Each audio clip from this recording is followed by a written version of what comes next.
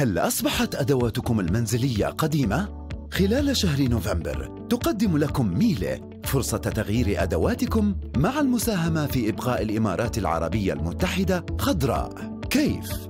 سنقوم بشراء أدواتكم القديمة من أي علامة تجارية ومهما كانت حالتها ونعيد تدويرها بثلاث خطوات سهلة الخطوة الأولى زوروا صالة عرض ميلي على شارع الشيخ زايد الخطوة الثانية اكتشفوا مجموعتنا الواسعة من الأدوات المنزلية. جربوها واختاروا المفضل لديكم. الخطوة الثالثة أعلموا فريق البيع لدينا عن أدواتكم القديمة. ليتمكنوا من تحديد المبلغ الذي سندفعه بالمقابل ليتم خصم هذا المبلغ من فاتورتكم.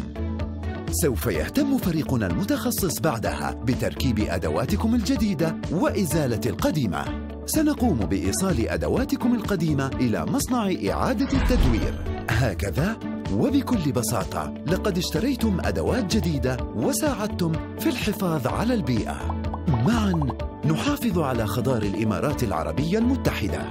إنها ميلي